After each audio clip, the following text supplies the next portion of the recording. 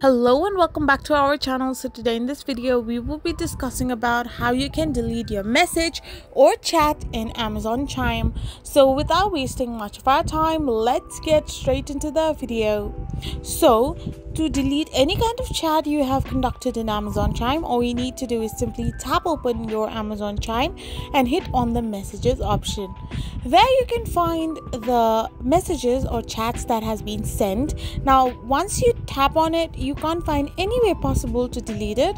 However, if you tap on the three dots, there also you can find any possible way to delete your chat. The ultimate solution is to simply scroll your message to left and tap on the hide option which will allow you to have this kind of screen and this will allow you to hide your message instead of deleting it.